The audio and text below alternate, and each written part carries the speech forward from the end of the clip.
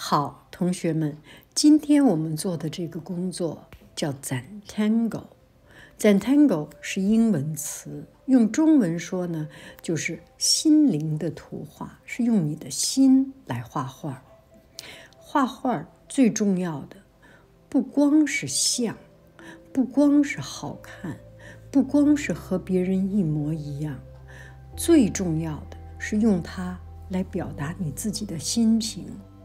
每个同学心里都有不一样的最心爱的东西，可以是花儿，可以是你玩的游戏，可以是你最喜欢的一个玩具，任何东西都可以。有的时候你就心里一直在想怎么给它画出来。所以，画画画什么内容并不重要。今天，杨老师想让同学们一起用心画你一直想画的、最喜欢的画。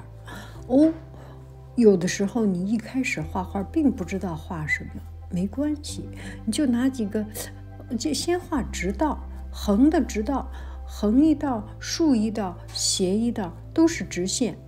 慢慢的，你就发现所有的这些线搭起来，就就。组合成就搭出一个特别奇怪、特别好玩的图案。你也可以画圆圈一圈一圈一圈画圆圈你也可以画小三角，你也可以画点点，你也可以画海浪的线，可以画各种各样的图案。把所有的这些图案组组装起来，放到一起。它就很有意思，对不对？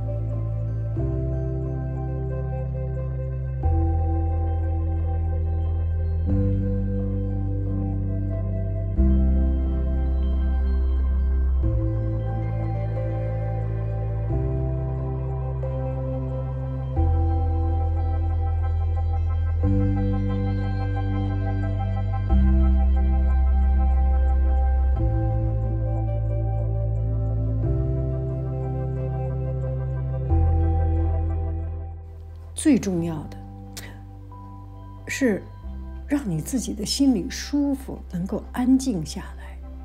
画画不光是要跟人家学，还有一个是要跟自己学，跟自己的心灵学，好不好？好，同学们，你们现在可以试着来画一下。